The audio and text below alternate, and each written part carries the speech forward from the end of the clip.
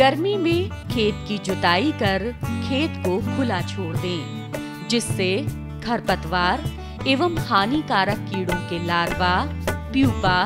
व सूढ़िया नष्ट हो जाती हैं